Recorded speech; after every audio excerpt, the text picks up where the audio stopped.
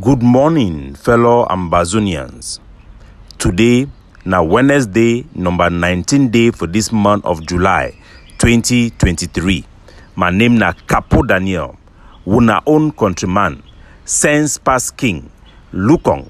Una welcome to another episode of our daily podcast, a program where it bring una the truth, it bring una meaningful information, fact-based analysis for help we as we the worker for this journey to our freedom, to the independence of Ambazonia.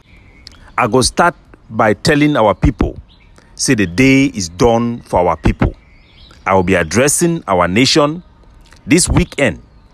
For over 65 years, our people them, they don't be tossed around the waters like a boat where it be on rough waters. Our people have been guided, misguided, led, misled by the good, the bad, and the ugly. We are in a very dangerous time where we have politicians and groups, presidents upon presidents, with people suffering from megalomania, or what Professor Carlson Anyangwe will call the peacock syndromes that are dominating our public and debate on the space of our national identity and the trajectory of our territory. For the past seven years, we know enough from the various countries that have run the Security Council, which is the top decision making body on issues of state recognition.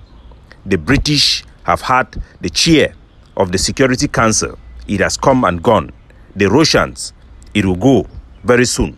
From African Union to the European Union, we can now know for certain what works, what do not works, the degree of flexibility of international sympathy and interest, and what we can do and what we cannot do.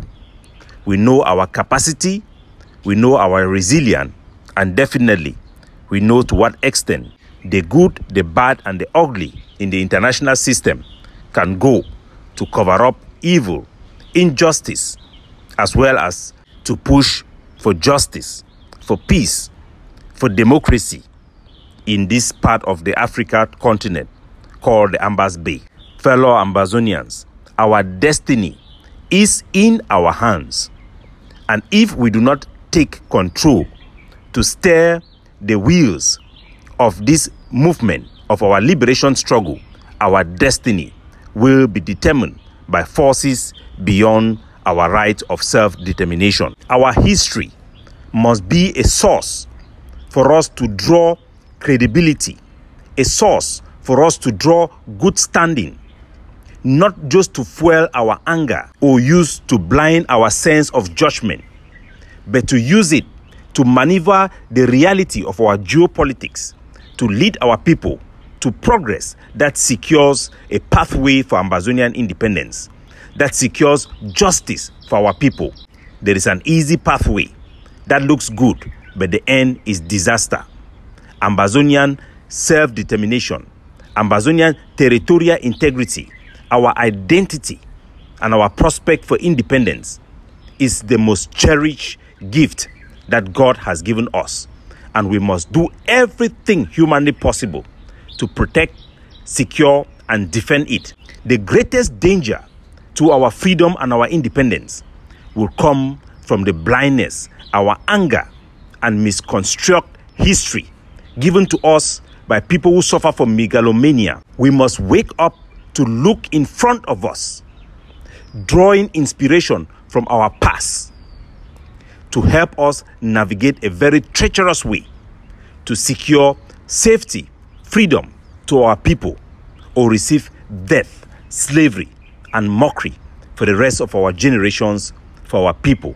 I will be addressing our people to inform them and to educate them on our international effort that the Ambazonian People's Right Advocative Platform is pushing to deliver victory and to secure a pathway to independence for our people, an attainable solution for the Ambazonian War of Liberation.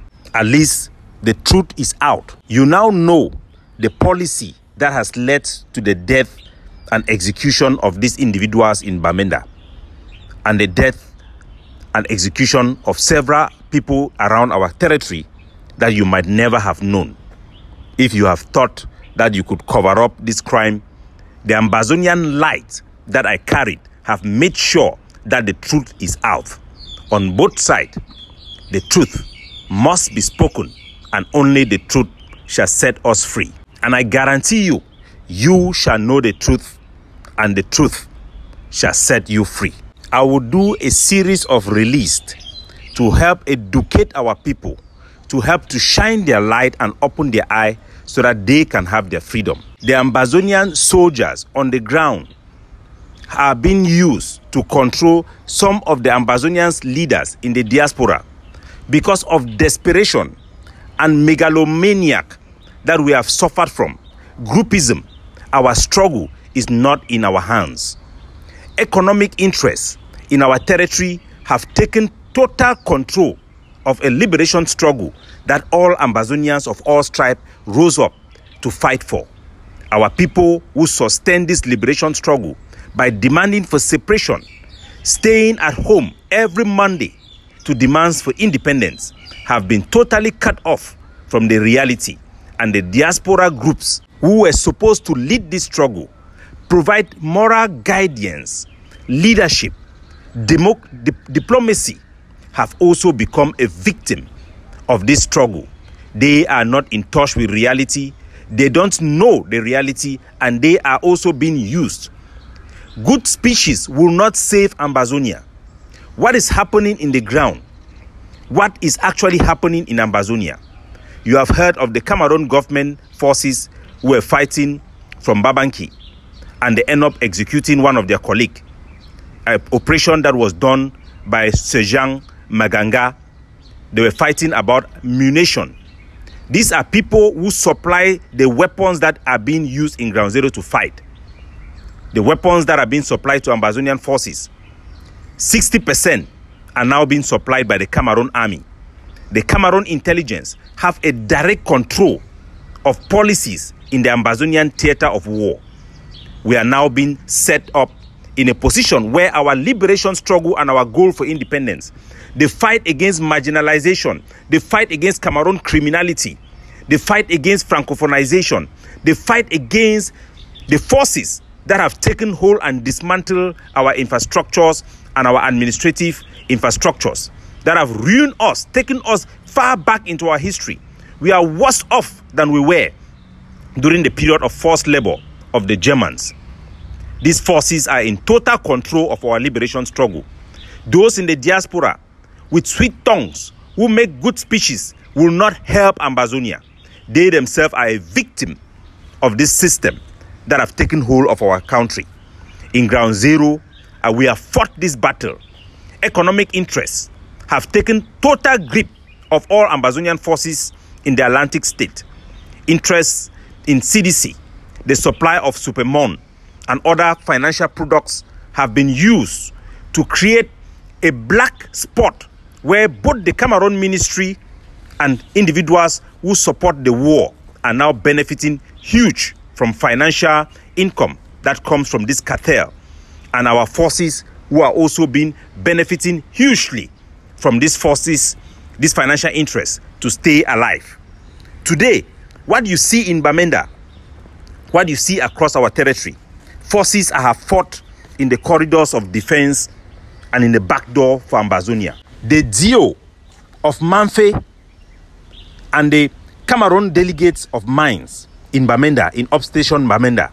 These are the two bosses that controls the vast majority of policies of the Ambazonian side and that have created and manages the account of money that have been flowing into our territory since we sabotaged SONARA the sabotage of SONARA have created a big opportunity of billions of dollars that are flowing in into La République du Cameroon and in the hands of certain generals in Ambazonia that have made our struggle not to be a struggle to focus on fighting La République, have made the Cameroon government to pursue policy within Ambazonians from the time of Chris Anu of excess lockdown to policies of the lockdown today today the lockdown in Mezam to facilitate their trade of petroleum from Nigeria. The Nigerian DSS is on this case and they are fighting hard. And the Ambazonian people, it's time for you to know. Ambazonians who runs and manage the Ambazonians forces on the ground. You have the cartel boss called My 90, Divine, Pangwa, Juska, El Shaddai, who have now opened a bank, a credit union that helps to clean this dirty money that is coming from Ambazonia. These are the people who pays the real salary of Lele Afrique, of Okalia Bilai. These are the real people that funds the ministers in La République du Cameroon who are making millions, millions a day. Ambazonian soldiers who have been brought in to fight these schemes, who have taken hold of our struggle, the vast majority of them have been compromised. That is why you see they want to maintain the ban against brasseries, even when it have no sense, even when it makes no rationnier, even when the rationnier that they provide for it is no longer in whole. They want to put that ban in place to maintain the ecosystem, the ecology that have been established in ground zero, where you have fat cats in La Republic living fat, generals in Ambazonia being secured, checkpoints in Ambazonia being secured, and having arrangement with La Republique du Cameroon military. The fix is in. Fellow Ambazonians, our liberation war, the struggle we started five years ago, is not in your hands. It is in the hands of people who do not want this war to stop. It is in the hands and total control of a faction in the Cameroon government who are manipulating the chips on the ground. And Ambazonian megalomanias in the diaspora, people who are so desperate to become leaders and relevance, have now become a face and a front for what is actually happening on the ground. I will be bringing you details of all of these things to substantiate what I've put to you today in a series of released to help our people so that together we can collectively establish what we all started for seven years ago a fight for freedom, a fight against Cameroon state. We must do everything humanly possible.